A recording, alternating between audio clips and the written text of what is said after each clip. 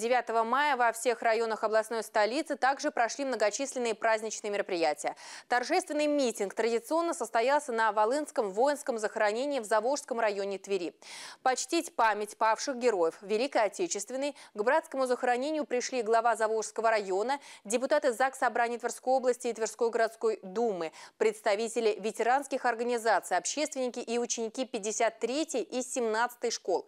Выступавшие подчеркнули значение тех уроков, которые преподносит нам история. Говорили о важности помнить всю страшную правду о зверствах фашистов, о коварных, жестоких и алчных замыслах недругов нашего государства и о подвиге наших героических предков, защищавших отчизну.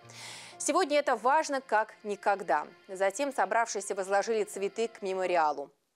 А у обелиска Победы в этот день состоялся флешмоб «Вальс Победы». Ученики практически всех тверских школ с 1 по 11 классы станцевали вальс возле памятника. 350 пар кружились в танце.